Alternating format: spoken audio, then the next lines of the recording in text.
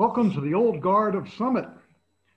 It is my pleasure to welcome back one of our favorite speakers, a man who needs little introduction to many of our Old Guard members, but I will say a few words of introduction for the benefit of our guests who are always welcome to our meetings.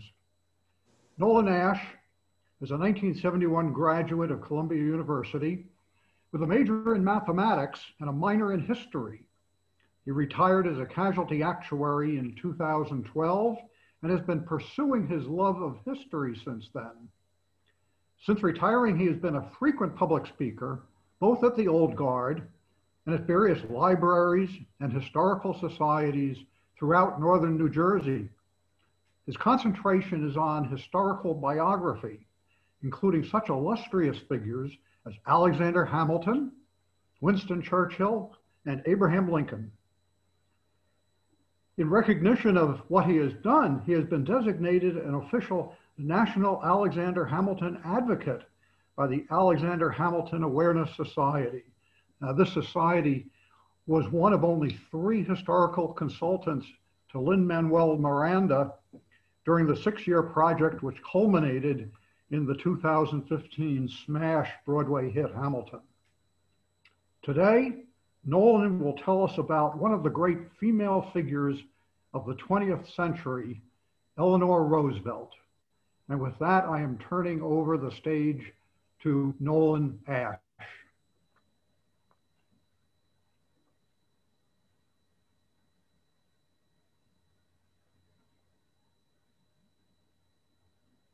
Hello? Go. Hello? Go.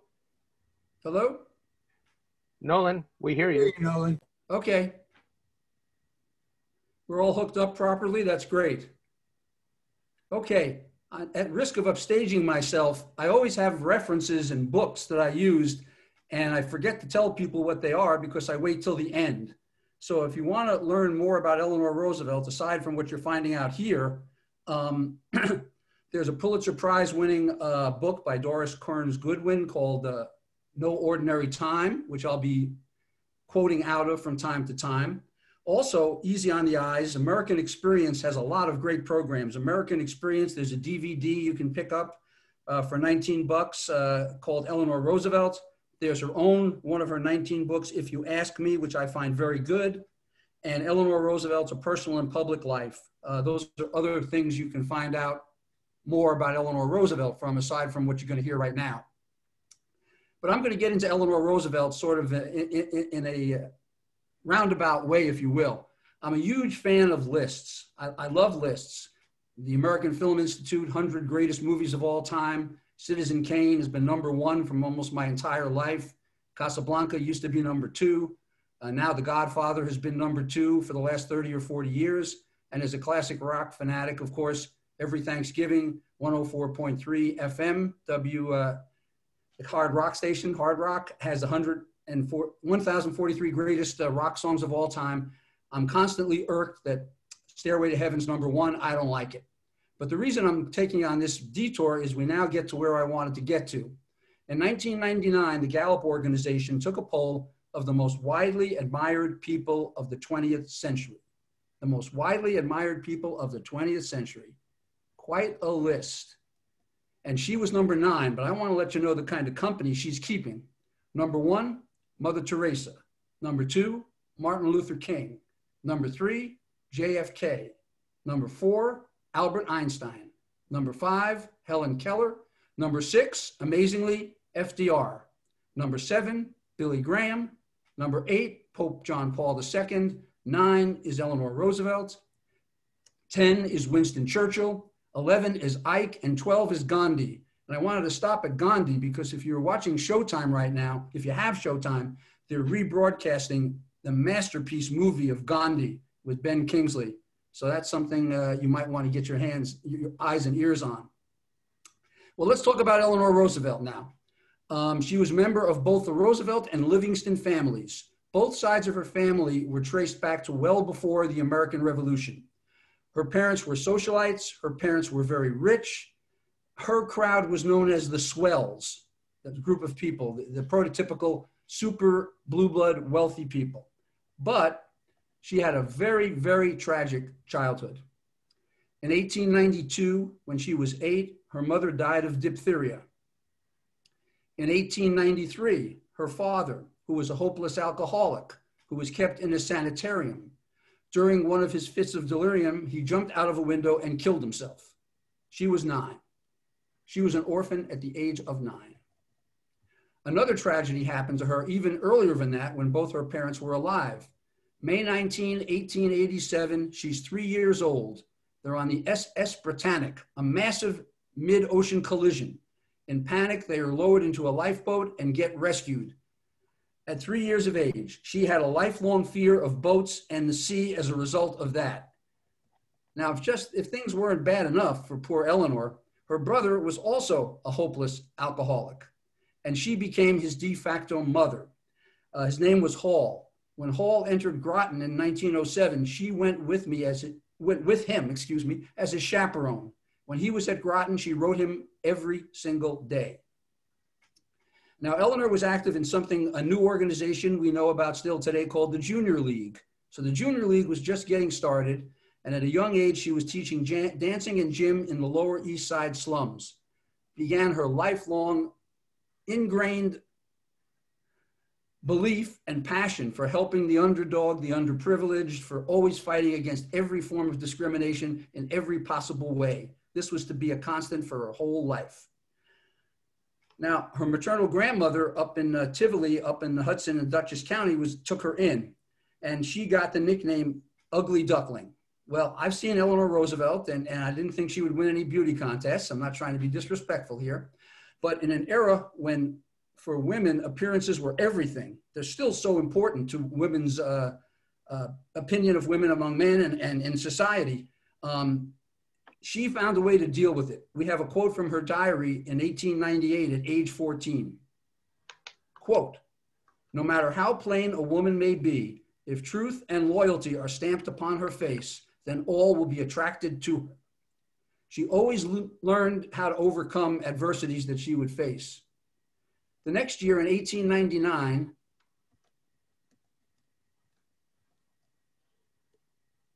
She went to the Allenswood Academy just outside of London. She stayed there from 1899 to 1902. Marie Souvestre, a French woman, taught her French, increased her self esteem, and she was the first time in her life, I think, she was really happy and felt accepted and really loved being at the Allenswood Academy. She did not want to leave Allenswood in, in 1902. She was summoned to come back to New York as every woman in her social circle, quote unquote, came out at a debutante ball at the Waldorf Astoria. She hated it, absolutely hated it. But it was a ritual that every one of the swells and every one of the proper people in high society were required really to do. As an aside, Eleanor was a lifelong Episcopalian, a regular churchgoer, and had a deep faith. She often would speak about spiritual and religious matters in her daily quote unquote my day columns, and there'll be more about that column a little later here. She met Franklin Delano Roosevelt on a train on her way to Tivoli in 1902. They soon became engaged. Now, FDR was the ultimate mama's boy, and Sarah Delano was the mother in law from hell. He was such a mama's boy, FDR, this is well known, and we need to get a little background here. Such a mama's boy that when FDR went to Harvard, Sarah went to Harvard also to stay on campus with her boy. Now, immediately, Sarah Delano took an intense dislike to Eleanor. And she made sure her boy agreed with Mama that he was not going to marry this Eleanor person and she would put it off for a year. And then, if she still wanted to do it, they would have her approval. During that year, she took him on a Caribbean cruise. She took him on a European cruise. I'm sure she introduced him to every hot babe, every eligible socialite, every cool girl in the world thinking for sure she would get him off of this uh, Eleanor kick. But they did end up getting married, not your usual marriage, March 17, 1905. They had to set the date specifically so Eleanor's cousin, the President of the United States, Teddy Roosevelt, could give the bride away. Then they went off for a three month honeymoon in Europe. Now get a load of this. You can't make this stuff up. Sarah gave them as a wedding present a New York City townhouse, but it was two New York City townhouses, wall to wall, right next to each other, with the walls knocked down so people can walk from one house to the other all the time. They really were one house. Sarah Delano ran that house for the first 10 years of Eleanor's marriage. a quote from Eleanor Roosevelt, quote, our children were more Sarah's than mine. Her son James wrote a tell-all book about the Roosevelts in 1973 after his parents were dead. Sarah often said to the kids, quote, your mother only bore you. I am your mother. Your mother is not your mother. All righty. Hey, little family dynamic going on here. Eleanor disliked sex with FDR, and she disliked sex. and with respect to children, a quote from Eleanor Roosevelt, quote, it did not come naturally to me to understand little children or to enjoy them. Nevertheless, she did her duty and produced six children.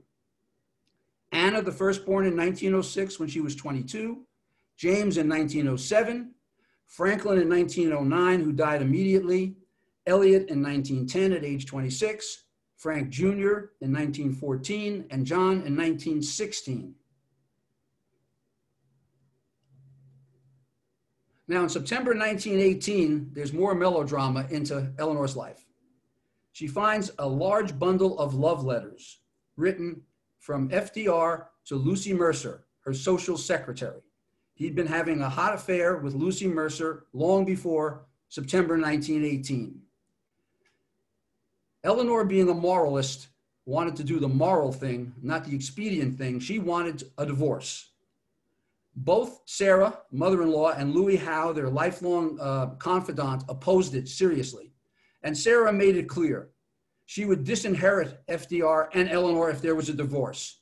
From that point on, their union was more of a political partnership than a, a usual marriage.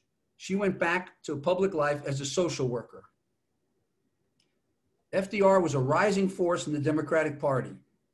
Now, this is an interesting side note, and it's really important to emphasize this as much as we may want to deify Eleanor Roosevelt. Uh, it's the 100th anniversary of the Equal Rights Amendment in 1920. Although she became uh, an epic advocate for women's rights soon after 1920, it is important to note that she played no part whatsoever in the suffragette movement until after women got the right to vote in 1920 and didn't change until her husband changed his own position. So that's the earlier Eleanor Roosevelt. Now, in 1920, FDR ran for VP. Eleanor made her first campaign appearances. They lost badly. In 1921, tragedy is to strike FDR and Eleanor again. On Campobello Island, as you all well know, FDR is paralyzed. Mama Sarah says you should retire, live the life of a wealthy country gentleman. He thought about it seriously. But Eleanor and Louis Howe said no.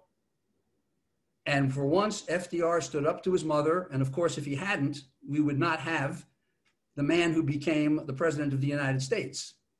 Immediately, Eleanor starts being FDR's stand in. She's carefully coached by Louis Howe. Her first political organization is the Women's Trade Organization, WTUL.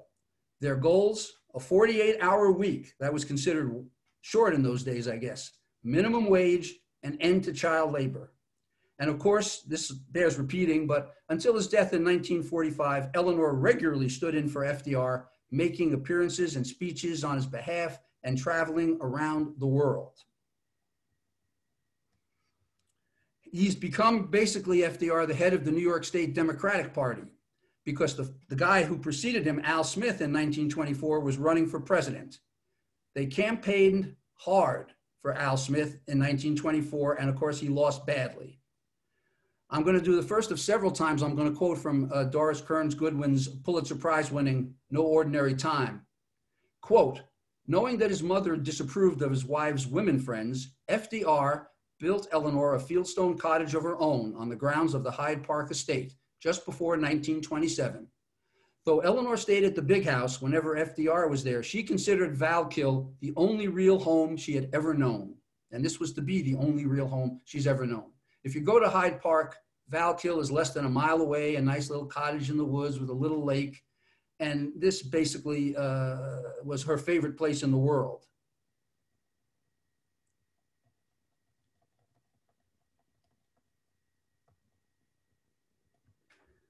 Nineteen twenty-four. We're not so sure why, but Franklin's firstborn daughter Anna and Eleanor became estranged for life.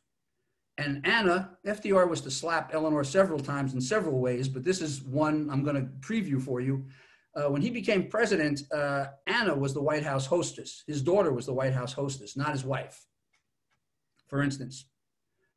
And in 27, she started Valkill Industries, a poor factory right on the Valkill grounds.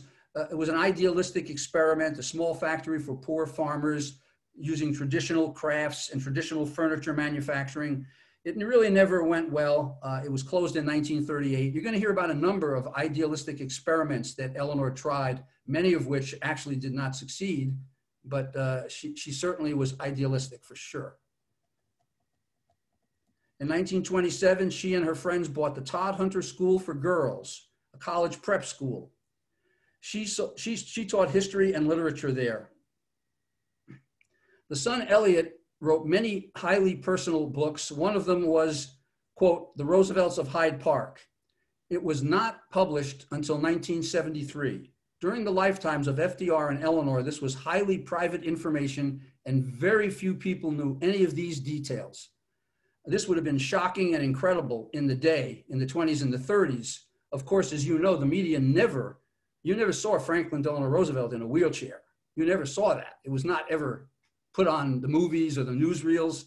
And all this inside information about their sex lives never became well known. Also in the book, Elliott discloses Eleanor's lifelong battle with depression. Of course, we'll start with uh, FDR's fun and games. We start and end with Lucy Mercer. She was a mistress of his well before 1918. She was beautiful. She was in the top social classes. And she was at his deathbed in Georgia in 1945. So he was continuing an affair with Lucy Mercer from before 1918 till his dying day, literally. He was very close to his younger cousin.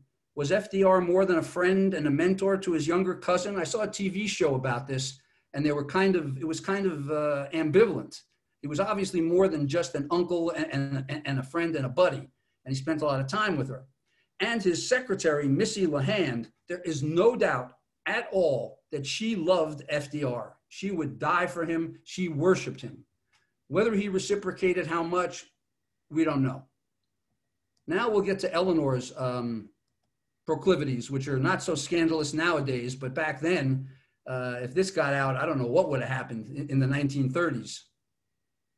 Eleanor was very close to Amelia Earhart, but she was even much, much, much closer to Lorena Hickok, nicknamed Hick. Hick was the White House reporter for the AP. She wrote Hick letters almost every day, often as long as 10 pages. These never got out in the day, but they were in the book in the 70s. Quote, all quotes from Eleanor Roosevelt. Quote, I am madly in love with you, unquote. Quote, I want to put my arms around you and kiss you, unquote. Quote, I can't kiss you, so I kiss your picture, good morning and good night, unquote. At the 1933 inaugural for FDR, it was kind of like a, a spy signal, I guess. She, wore a, she wore a sapphire ring Hick had given her. Hick quit the AP.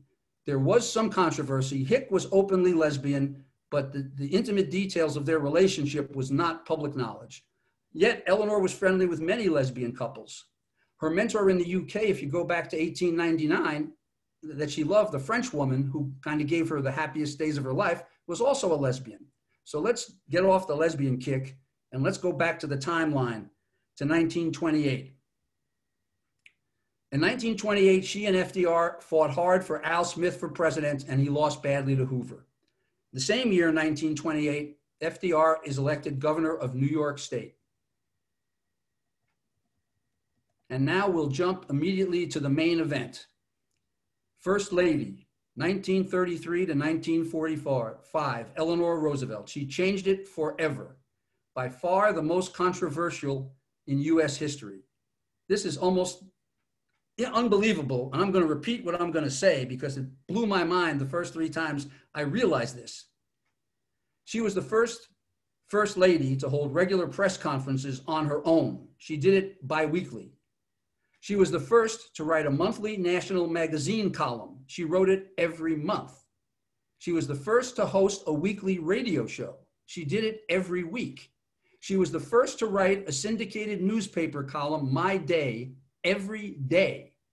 So for the entire FDR administration, she was writing My Day. She talked about religion, I mentioned earlier, every day, nationally syndicated. She's got a weekly nationally syndicated radio show every week. She's got a monthly magazine column every month, and she has regular press conferences every two weeks. Wow. I mean, no first lady before or since has had that high of a profile. now, she always, always, as I said, and I'll repeat this again and again because it's well worth repeating, um, she always was a passionate advocate for civil rights, for Blacks, for minorities, for any religious group, for any racial group, for any ethnic group, for any downtrodden group. She was always an advocate and a strong advocate. Uh, one interesting little side story we'll tell here the, the bonus army was world war i veterans they were promised bonuses during the hoover administration the world war i bonus army set up tents all around the white house hoover sicked the army and douglas macarthur on them and it was an outrage and it was an embarrassment when they put their tents outside the white house uh, the leader of the bonus army was famously on newspaper headlines on the front page quote hoover sent the army fdr sent his wife it went much better for FDR than it went for Herbert Hoover with the bonus army. Big deal at the time. Uh, she was deeply involved in founding the American Youth Congress in 1935. It was for young people aged 16 to 25. Uh, four years later, in 1939, the top leaders were proven to be communists. It was shut down in 1943. Another idealistic uh, initiative that Eleanor Roosevelt was a part of that uh, didn't end up that well. In 1933, uh, another idealistic program that she started right after FDR came in was called Arthurdale, West Virginia. She wanted an idealistic community for poor mine workers to try and help them better themselves. The miners insisted white Christians only. White Christians only. They created that and they created another one across the street for blacks and Jews. And this also ultimately was not successful. Um, we go to 1940. She is the first woman to speak at a National Party convention. This is very important. Everyone, I think, is familiar with the fact that no president in American history, starting with George Washington, ever served more than eight years or two terms. Nobody. Franklin or Delano Roosevelt was going to try to break that. There was a lot of resistance to it at the time. We don't, we weren't there and we don't remember exactly how it came down. But it was not a slam dunk that FDR was going to get nominated in 1940 by the Democratic Party. There was a lot of opposition to it. And Eleanor Roosevelt went to the convention, spoke to the convention. We've just seen this year how powerful the wife of a former president uh, can be when you have Michelle Obama speaking at a convention. Uh, evidently, she was she was a very very important speaker, very powerful, very emotional, and this was part of the reason why FDR was nominated to a third term and did get elected to a third term. She was way ahead of FDR again about civil rights. A very famous incident in 1939, Marian Anderson, one of the greatest singers of the age, was denied a concert hall by the DAR, the Daughters of the American Revolution a prominent member of the DAR, Eleanor Roosevelt, quit the DAR and arranged to have the concert at the Lincoln Memorial. I even remember watching clips of that in the, in, in the 50s as a kid. Very, very famous. Now we jump to Pearl Harbor. And of course, she's probably the first person when it was very unpopular to speak out against the Japanese internment camps. She spoke out publicly and loudly against her husband, against the government, against the policy. And her press, oh, more details about her press conferences. We'll go back to that. Uh, she had 348 press conferences. I'll say that again 348 press conferences over 12 years, average 30 a year. And her press conferences were for women reporters only. No men allowed. Jobs for women reporters, they were hard to get. Amazing. Uh, in February 1939, she supported the Wagner Rogers Bill.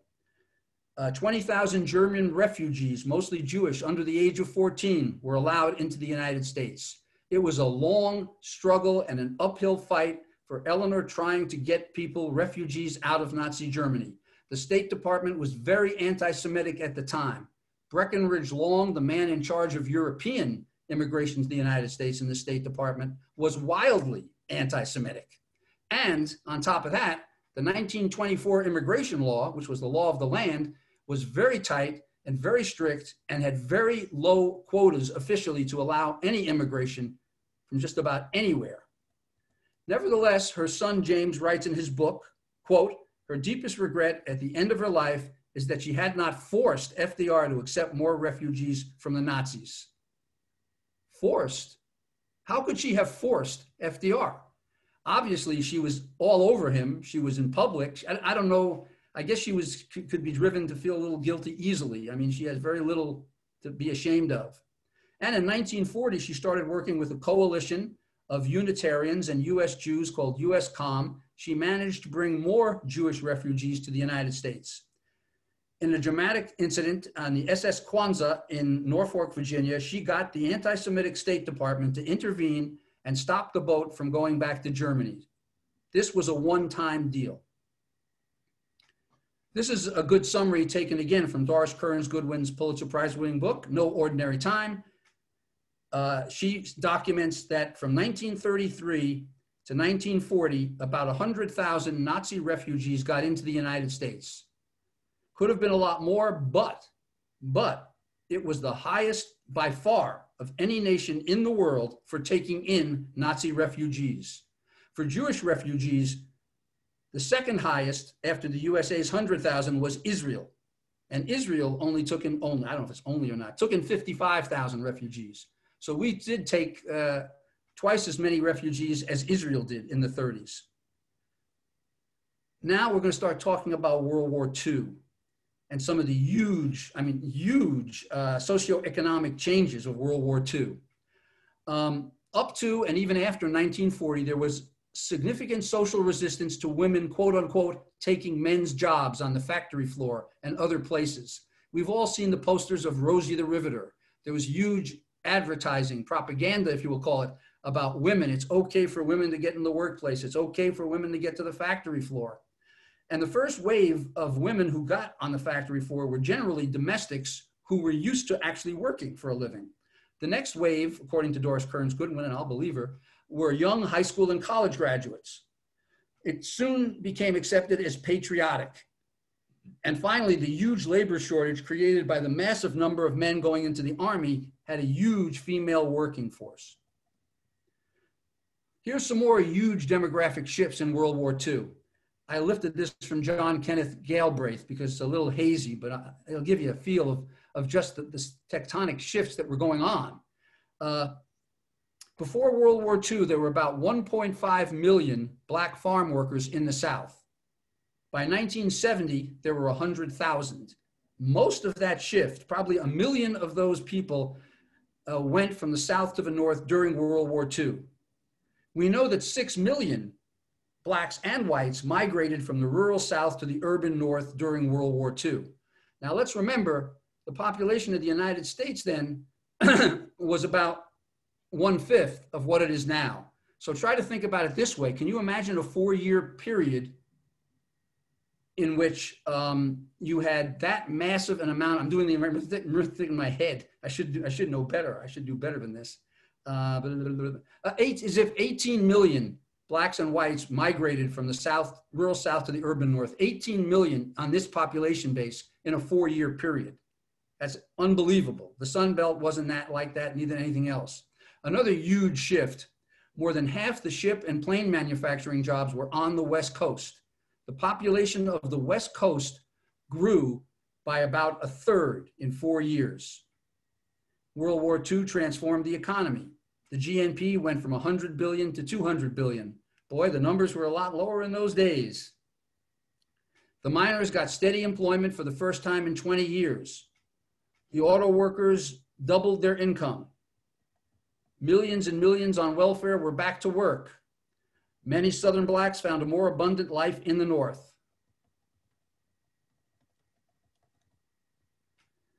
Okay, now we'll go to December 7th, 1941, Pearl Harbor, a day that will live in infamy per her husband. And now we go to another interesting and, and wild and rocky relationship Eleanor Roosevelt and Winston Churchill. These two hated each other with a passion and for good reason. They couldn't have been more different. Uh, Churchill was a sexist, he was a racist, he was an imperialist, and of course, Eleanor Roosevelt was for equal rights for everybody, discrimination against nobody. She was totally opposed to it. And for personal reasons, we're going to get into this, it really was not a good relationship. It was a closely kept secret at the time, but both Churchill and Roosevelt were not at all healthy. They both had serious, very serious heart conditions. Pretty well kept secret, but it was really true. And Eleanor knew it very well. FDR was under doctor's orders not to work too hard or get too much stress, if you can believe it. but Eleanor usually kept things under pretty good control. It was a regular schedule, things were predictable, peace and quiet were in the White House. But whenever Churchill visited, all hell broke loose every time. Lots of drinking, lots of carousing, lots of partying, lots of late nights. She was expecting one or both of them to keel over and, have a coronary while they were there. On January 1, 1942, the three of them were driving through Virginia. Churchill was laying out a vision for a post-war, post-World War II world where the British Empire would continue in partnership with the USA. FDR, the usual politician, nodded and said, yeah, yeah, yeah. Of course, this was 180 degrees opposed to anything Eleanor stood for on human rights or anything else. But before Yalta, FDR had come to a position favoring independence for India and gradually dismantling the entire British Empire. Before they got to Yalta, FDR had come to be totally opposed to Churchill, to Eleanor's side of this discussion. Perhaps Eleanor played a role in this in over the three years, but it was definitely her position long before World War, World War II it's pretty clear that in this period of time, Churchill had a minor stroke when he was in the White House in, in December 1941. And who knows what happened to FDR in the years leading up to 1945. I think he had several coronary events. Uh, in October 1942, she, she toured the US and England. In 1942, she began getting many letters from Black servicemen about segregation. On March 10, 1943, the Army officially desegregated movies and recreational facilities. Progress was slow and gradual. That's how deeply racism was entrenched. At her pushing, they could only desegregate, uh, at this point, movies and recreation facilities. And another thing about Eleanor, I should digress, and it's important to know, she was constantly getting letters with her daily column. People would say, Can you help me with this? Can you help me with that? And she would often go to FDR on behalf of lobbying for this poor guy who's in a wheelchair or this poor person who's dying of cancer. And, and she was nagging him about these individual events on a constant daily basis.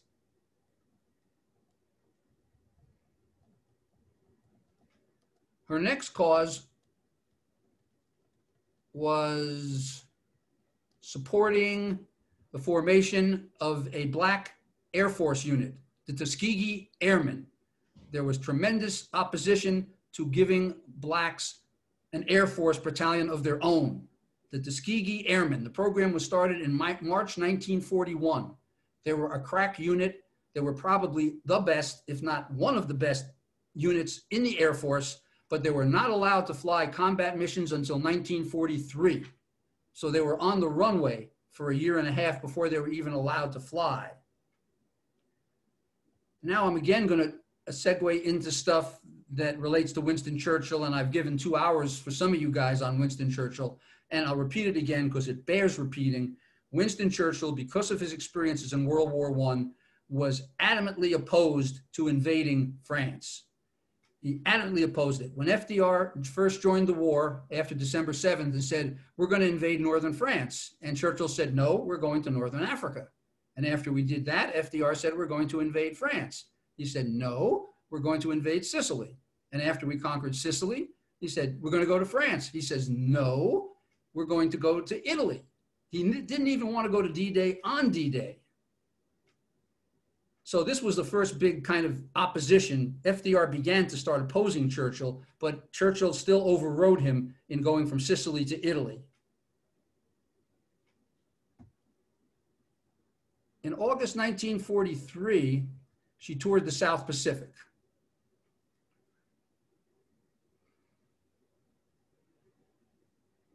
She desperately, desperately wanted to go to the penultimate summit meeting at Yalta. One more slap in the face from FDR to Eleanor. His daughter Anna would accompany him to see Stalin and Churchill at Yalta and not Eleanor. And of course, immediately, immediately after World War II, she was a vocal, strong advocate for the rights of refugees. Now, by the time of the 1944 Democratic Convention in late 1944, it was painfully obvious to all outsiders that FDR was a very, very sick man. The 1944 VP pick would almost certainly be the next president of the United States before 1948. It's important I should point this out because I've never done a Truman. Um, by the time of the, of, the, of the 44 convention, FDR had made no decision until only five days before the convention, and he said he would not dictate. Uh, the finalists were Harry Truman, Henry Wallace, and Byrne. Henry Wallace was the sitting vice president. Eleanor Roosevelt loved Henry Wallace. She was a great fan of Henry Wallace. He was extremely left wing. He had visited the USSR during World War II and made many favorable comments about Russia and Stalin. And he was often accused, I would say somewhat rightly, of being a socialist or a communist sympathizer. So the party bosses ended up vetoing uh, Henry Wallace to be vice president in 1944 and selected, as you know, it was on the second ballot, not on the first ballot. Harry Truman was selected VP on the second ballot. The rest is history for Harry Truman. Uh, Doris Kearns Goodwin, in No Ordinary Time, one more time, sums up the FDR Eleanor team brilliantly. You cannot improve upon this, this woman's ability to write. Quote, she was the more earnest, less devious, less patient, less fun, more uncompromisingly moral. He was the more entertaining and possessed the more trustworthy political talent, the more finely tuned sense of timing, the better feel for the citizenry, the smarter understanding of how to get things done. And of course, in 1945, FDR was dead. And Eleanor Roosevelt was going to live for another 17 years. Harry Truman immediately asked her to be the first US delegate to the United Nations. She was the first chair of the UN Commission on Human Rights. She oversaw the drafting of the Universal Declaration of Human Rights.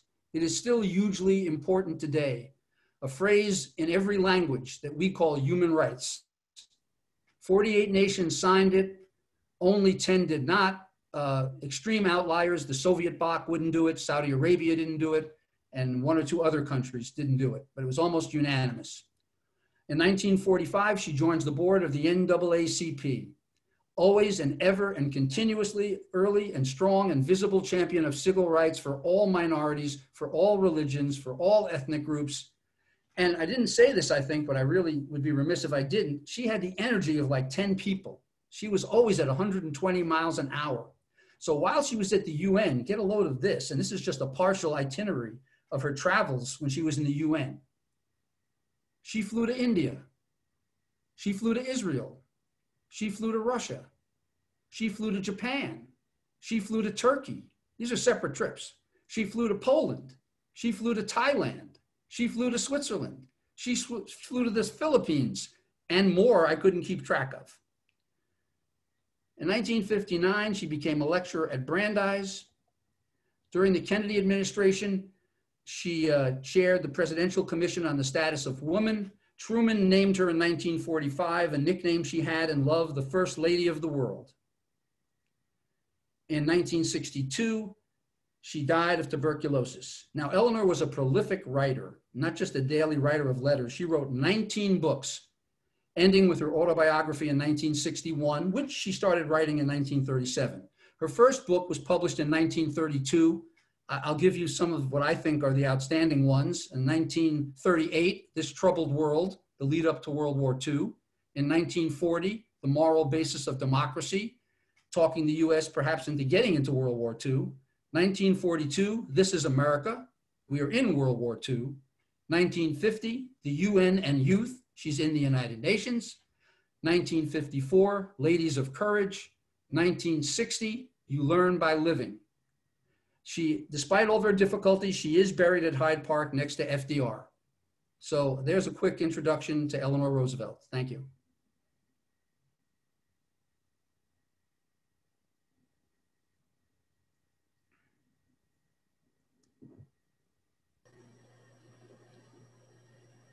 If anyone has any questions, feel free, raise your blue hand and we'll get to you. Uh, Jim Blinn, and you. Yes, um, great, great presentation. Thank you. Um, I wondered if you had seen the uh, Ken Burns, um, I imagine you have, uh, story on the Roosevelts. I know he did one, at least one uh, whole uh, two hour segment, I think, on Eleanor, and I wondered what you thought of that.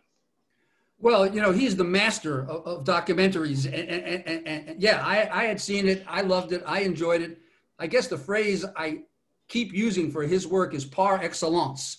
You know, it's a tremendous work. And uh, uh, I don't have any specific thing that hits me on the head like a baseball bat, but there was the usual Ken Burns, a ton of information. I hope to emulate him, presented in, in an engaging way. He gives you so much information, but you're engaged and you're not bored. And, and I hadn't seen that particular one in a long time. So, so I, it isn't in the front of my mind of some particular, you know, highlight reel that, that comes out of it. But I would highly recommend that to everybody as well, as I did the American Experience one, which I've seen more recently on Eleanor Roosevelt. And you can buy a DVD for 20 bucks. I'm sure you can see the American Experience Eleanor Roosevelt for free by, by wandering around. And I'm sure you can get back to Ken Burns's wonderful uh, uh, documentary as well. Yeah, one of one of the things that um, I remember when you were talking about hmm. Eleanor speaking in 1940 at the convention, that Ken pointed out that FDR said he did not, he didn't go, he did not go to that convention, and he sent her instead. Mm-hmm. Which was a brilliant thing to do politically. It was a brilliant thing to do politically. As you remember, until very recently, nobody was supposed to run for president. You were supposed to be dragged into it. And certainly no one would even dare go for a third term. So FDR could not be seen to be seeking this nomination. He could not. That would have been political suicide. So he consciously had this plan of not going, oh, no, no, no, no, I'm not going to run for a third term. You're going to have to beg me to do it. I won't go, but well, I'll send my wife. And of course, as, as Mrs. Obama did, uh, Eleanor Roosevelt knew how to make a presentation and knew how to give a speech and knew how to move a crowd. And yeah, she played she played a, a pivotal role in his renomination. And again, you got to remember that's 1940. We're not in World War II yet. And FDR, the country is 80% opposed to being involved in World War II. You know, America First was big, Henry Ford was big, Charles Lindbergh was big. Wendell Willkie probably would have won the presidency in 1940 if he campaigned on the Republican side as an anti war isolationist. He refused to do that. It was a close election anyway. So that gives you a lot of color. Yes, that's great around the importance. Because without her, he never would have even been nominated. Thank you. Thank you. John Groom. Yeah, good uh, good morning. Thank you so much for your presentation. I thought it was uh, I thought it was wonderful. Uh, I have a rather technical question for you, if I may.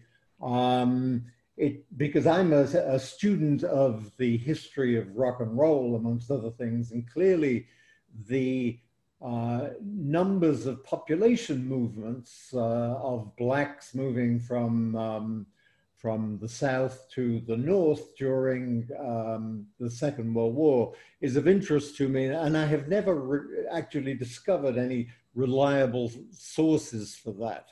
Uh, I wonder if you could uh, let me know the sources that you gave to us for the, po the population movements that you cited. Yes, yes. Uh, one of them I can do off the top of my head, which is the great Doris Kearns Goodwin Pulitzer Prize winning No Ordinary Time. She has statistics in there. I don't, I have a library and I read some of the books. There are a lot of them. I got it out of a John Kenneth Galbraith, not surprisingly, a John Kenneth Galbraith tome. I'll, I'll find it and I'll make sure it gets to you when I find the other source. Okay. But I had two sources for those statistics. And of course, I'm a classic rock fanatic. Uh, I, you were great on the Beatles, and I, I love the Beatles to death, and I love rock and roll. And of course, I thought you were going to get into the blues because I'm Claptonian by religion. That is my actual religious belief, is Claptonian. And so the blues really, when all those millions and millions of rural blacks went to the urban north to a freer environment, that is when the blues really exploded in the United States in the 20s and the 30s and the 40s. It, it makes obvious sense. You know, before it, it got exported to Liverpool in the 50s, it had to get to Chicago and New York, and it really exploded during World War II. Right. Thank you. A little less serious, but. Bill Tittle? Yeah, um, I'm struck by the notion of opposites attracting. Uh, but uh, it was more than that, uh, I'm afraid, uh, because, I mean, I'm sure he uh, recognized the value of her views that he really just couldn't relate to.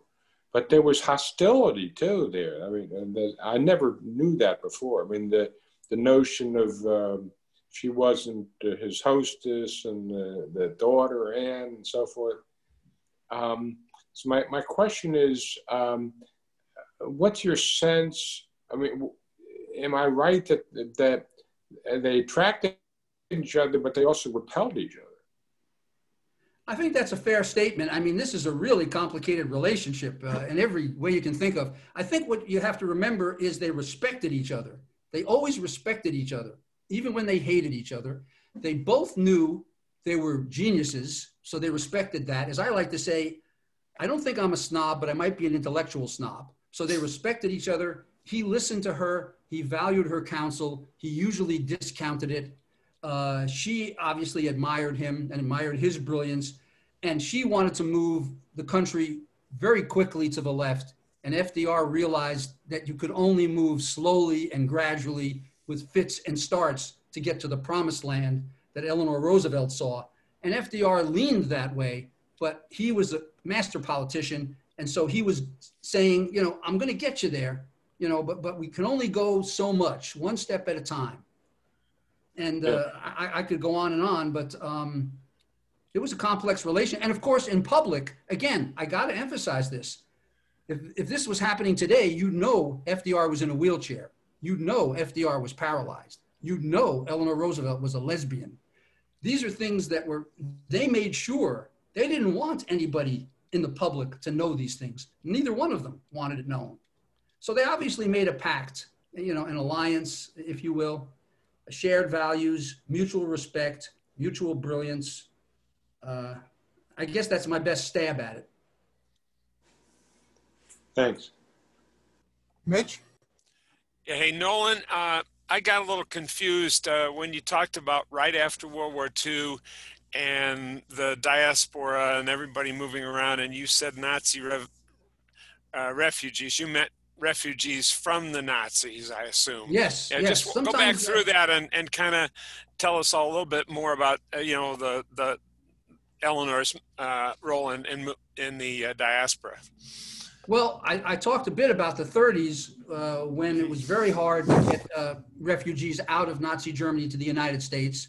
Uh, the State Park Department was overtly anti-Semitic. Uh, Breckinridge Long, who was in charge of European immigration into the United States, was obscenely anti-Semitic. So it was very hard to get the U.S. to accept uh, refugees from Nazi Germany, particularly Jews. And I, I, got a lot of it on the tape that, through a number of ways, he formed a committee with Unitarians that got 20,000 refugees out under the age of 14.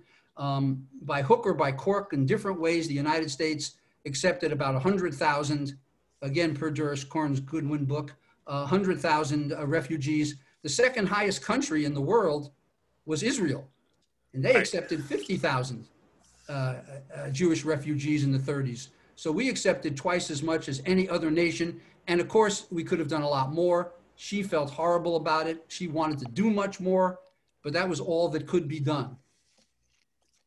Thank Is you. okay?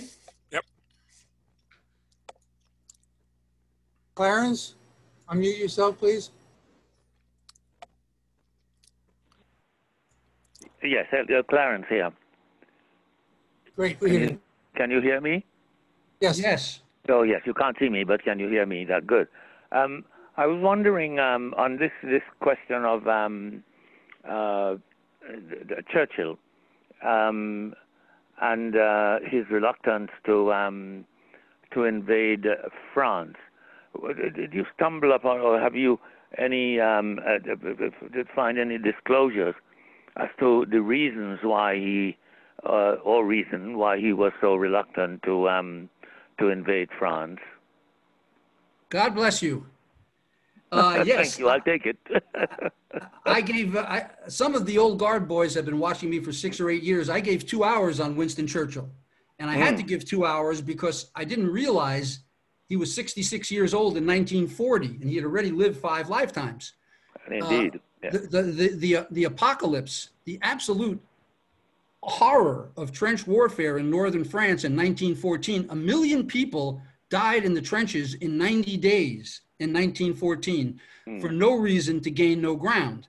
Churchill was so furious about it that he championed uh, what was called the Southern Strategy, which is sail into the Mediterranean, come around the back of Turkey, and go into the Gallipoli Peninsula. They had a whole campaign to try and get out of, of, of the death trap in northern France and invade through Gallipoli. It failed. He took responsibility. It destroyed his career. And furthermore, getting into it more deeply, Churchill hated communism. He sent an army mm-hmm. into Russia in 1918 to try and put down the Bolsheviks. He hated Adolf Hitler. He hated Nazis. He hated Germany and Russia. Nothing he liked better in World War II to watch them kill each other by the millions while he stayed at home and watched it for as long as possible. So that's why he never wanted to go back into northern France until as late as June 1944. And he didn't even want to do it then. It was, it was a brilliant masterstroke of geopolitical uh, world empire building. And, uh, he- you know, there were roughly 26 million Russians that were killed in World War II and roughly 9 million Germans. Nobody else was even close to that. And, and Churchill was just very happy to let that go on instead of creating the second front in, in Western, in France, in Normandy. So yes, I've researched that very deeply. I can dig up my, my notes on Churchill. I've got a lot of them.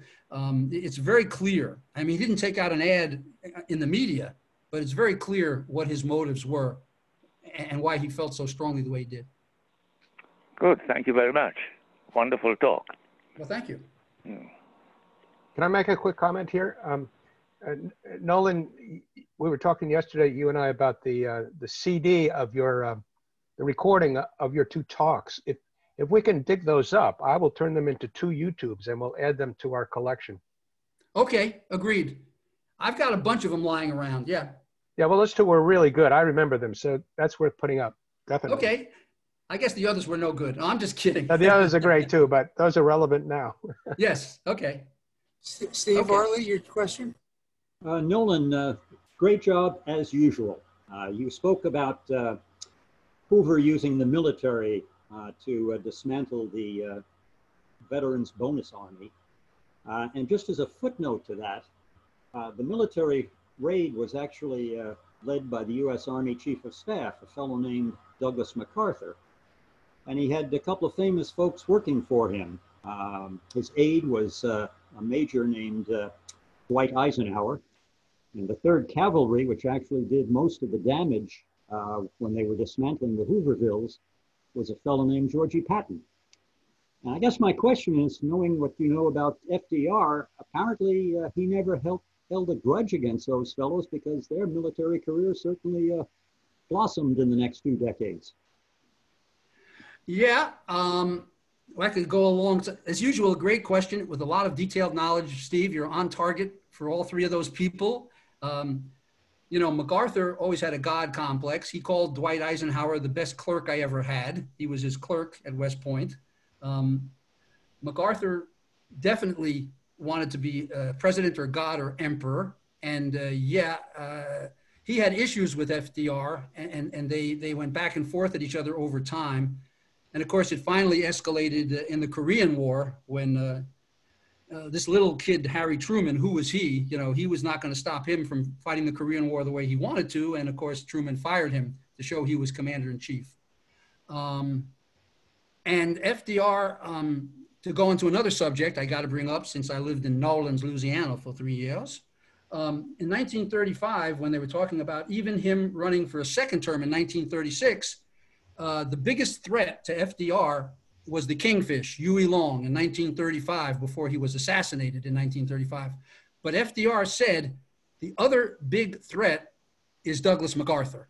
He knew Douglas MacArthur's blind ambition way back from the bonus march and from 1936. I've been scattershot, but uh, hopefully that's somewhat, we, we can follow it up more later. That's great. Thank you.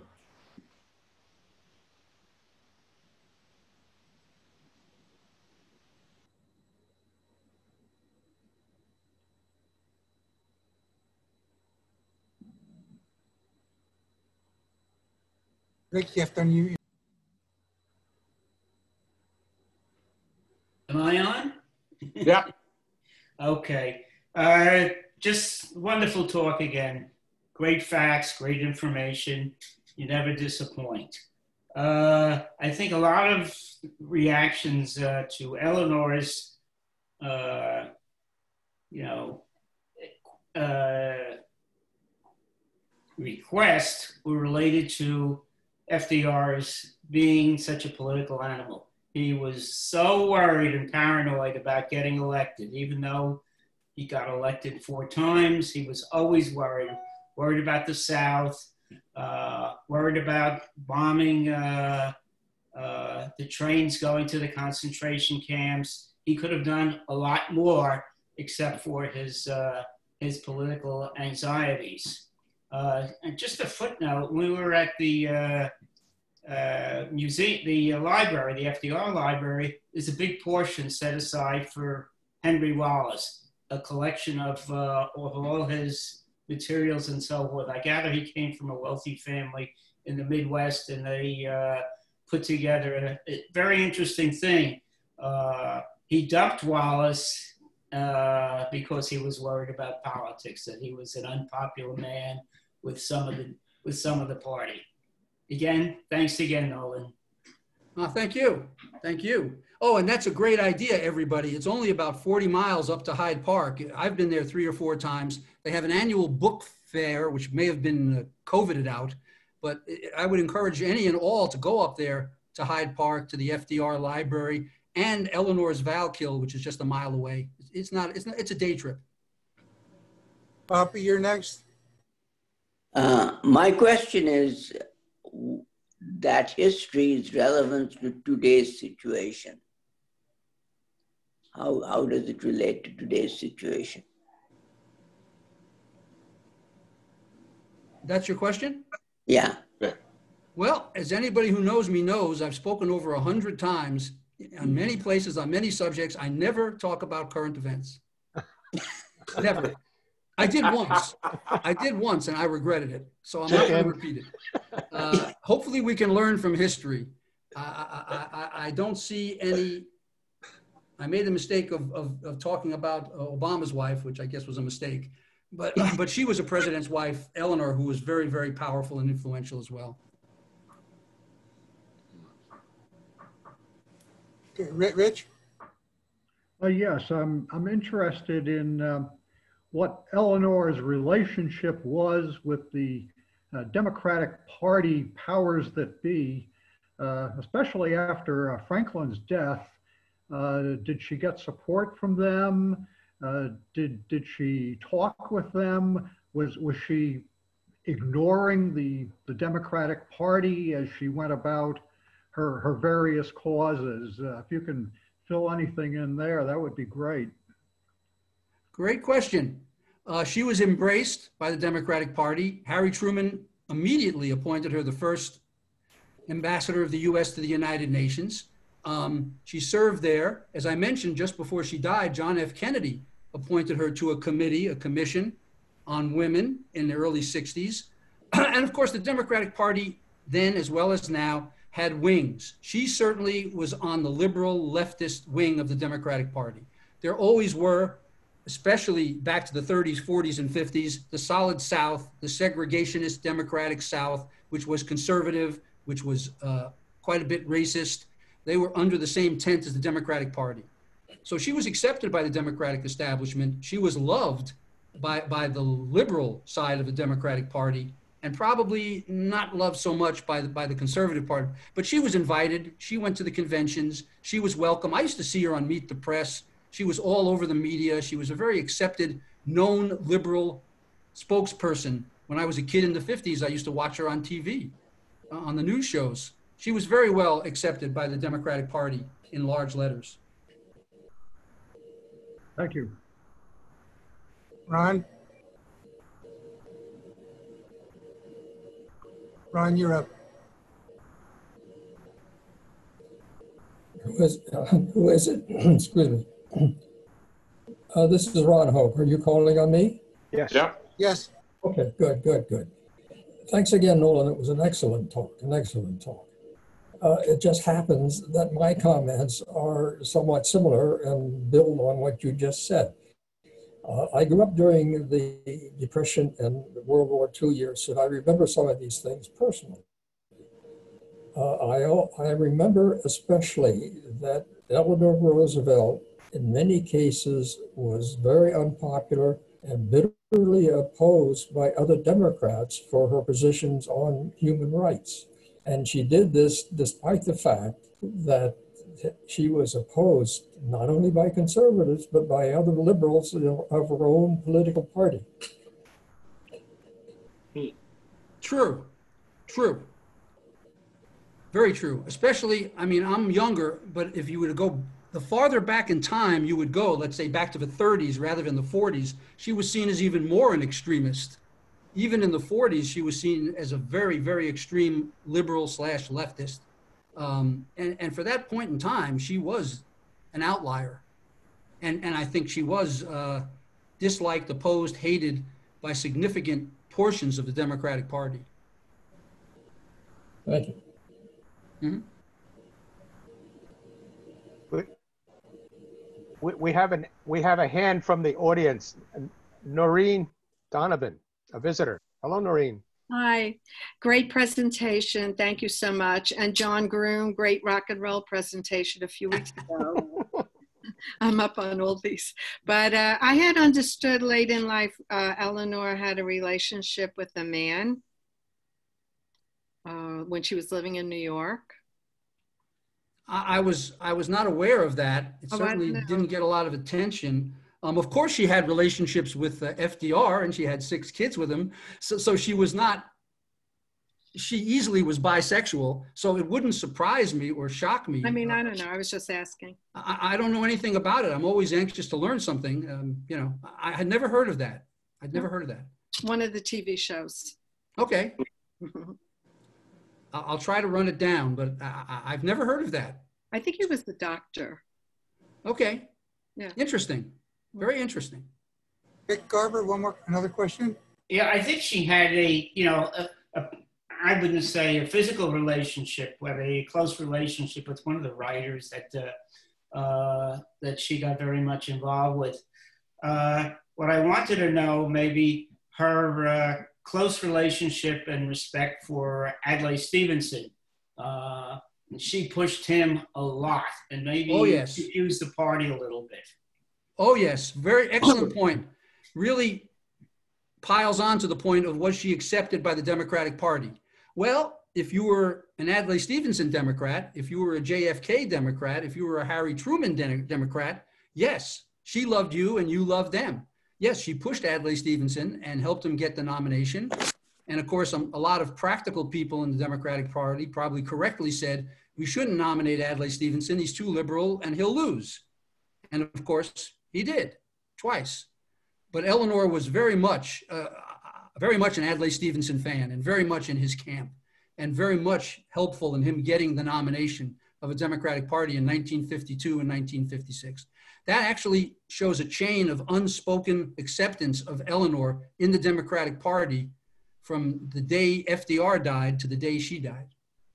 It was all there, just the left leaning wing of the Democratic Party.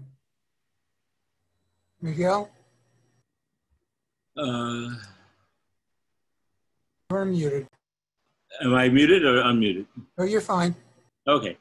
I just need to ask the question so Nolan knows I'm here. But uh, uh, a, a couple of things. I mean, first of all, some people have noted that they had six children. I'd like to remind everybody that there wasn't any television in those days. But in any case, uh, Nolan, I have a challenge for you. Something you said, some things you have said, started me thinking. And you mentioned the migration of the uh, blacks from the south up to the north and the Midwest, et cetera, in the millions, and uh, how that affected the population.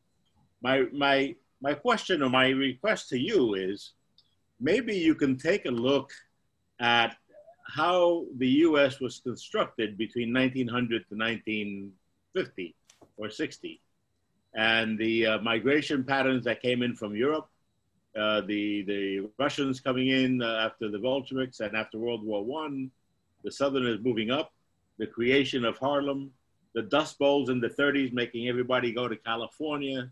I mean, that would be something that I mean, the migration was a significant percentage of the population that you mentioned.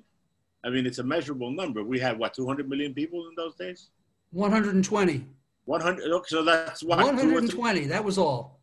So that's that's like a, Yeah. a, a couple of percent of the population was moving Yeah. up, moving out, and and and uh, Mhm. changing the face of the uh, of uh, of the country, which is what brought about the requirements for integration because you couldn't uh, you couldn't send them out to, to fight in World War II and then have them go back to the uh, segregation when they got home. Um, I'd like you to take a look at that. Maybe you can put something together. That would be I would find that fascinating. Okay, I'll consider that. You want me to put a talk together about migration in the USA? Yeah, From yeah, I, you can you know you can you can start with uh, Hamilton who came in from St. Kitts, but I'm.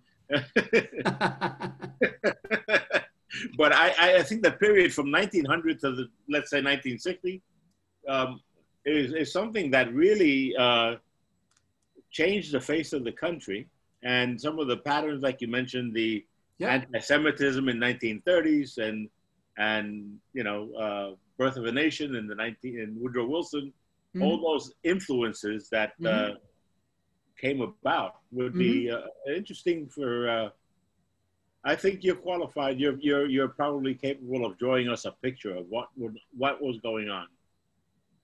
Okay, I'll think about it. You, you spurred my one of the synapses in my brain to click, saying America has always been the nation of people that were on the move, starting from the East Coast all the way to the West Coast and Manifest Destiny. Remember the Sun Belt, Miguel? I'm a baby boomer. Where did I go in 1980? Arizona. Population migration has been a constant of America, a constant theme, and a constant theme of the land of opportunity. If you fail here once, you can go somewhere else, or if you want to do better, you can move.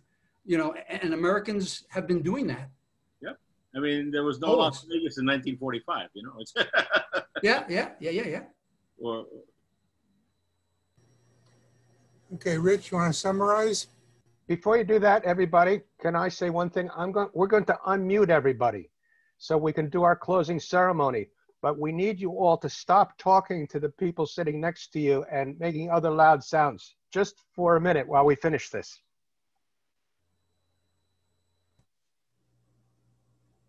Well, Nolan, you did it again. It was great. I, I personally have a understanding now of Eleanor Roosevelt, her times, and, and what she did and what she accomplished, and the way the way she viewed the world, and the way the way part of the world viewed her as well. And then the fact that uh, there are suggestions for additional presentations as a testament to what a great job you did today again. At this point, as, as you know, um, we, we have a couple of ways of thanking you for doing such a great job and being here to inform, educate, and entertain us. Uh, one is the Orchid Certificate of Appreciation. and there it is. Yep. As you know, uh, but maybe maybe some of our guests do not know, there's a beautiful orchid on the certificate, which recognizes that uh, orchid is the emblem of the Summit Old Guard because in 1930, when the Old Guard was founded, uh, Summit was an orchid growing and distribution capital of the United States. And so this certificate of appreciation uh, uh, is, is for you and thanks.